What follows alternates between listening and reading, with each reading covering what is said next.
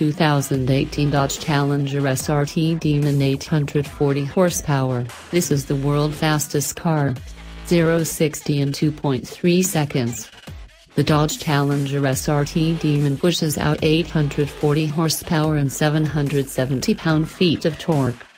It'll hit 60 miles per hour in 2.3 seconds, 100 miles per hour in 5.1 seconds and blitz the quarter mile lights in 9.65 seconds at 140 miles per hour.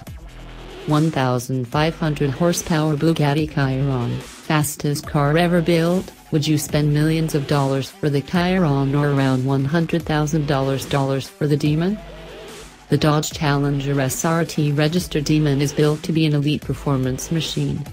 That's why it's powered by a supercharged 6.2 liters Hemi registered SRT Demon V8 engine and armed with a functional air grabber hood scoop and torque reserve launch system. The interior of the Dodge Challenger SRT registered Demon comes equipped with racing essentials designed to help you decimate the competition. Carve some curves or assault the quarter mile. This ride is menacing on or off the track.